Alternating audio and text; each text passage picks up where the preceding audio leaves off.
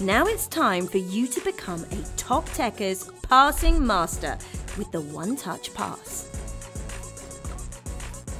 To pass properly, foot next to the ball with the toes pointing at your target.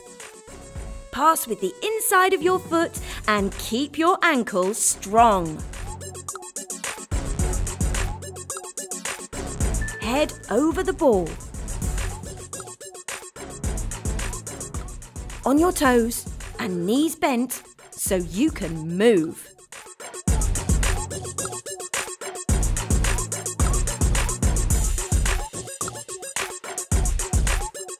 Want to be the best?